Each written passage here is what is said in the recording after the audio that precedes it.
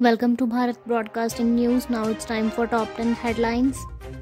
PM praises Chief Justice of India D.Y. Chandrachud for suggesting Supreme Court ruling in regional languages. Mahesh Jethmalani targets Rahul Gandhi over BBC documentary Row.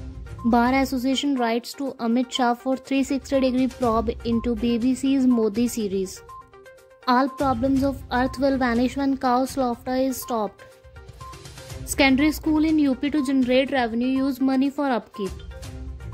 US launches more initiative to cut wait time for visa applicants. Mamata would not do anything to upset PM. No praise on Bharat Jodo. Badrinath Yatra likely to be regulated in aftermath of Joshimath disaster. Himanta Biswa clarifies Shri for Shah Rukh Khan. Nothing to take. Government may announce universal enterprise IDs for small firms.